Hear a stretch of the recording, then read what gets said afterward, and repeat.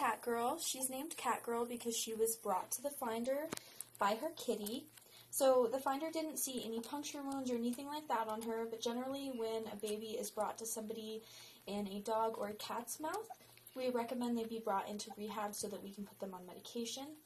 A lot of times cats will cause puncture wounds that you can't see because their teeth are too small, and dogs can cause internal damage that you also can't see.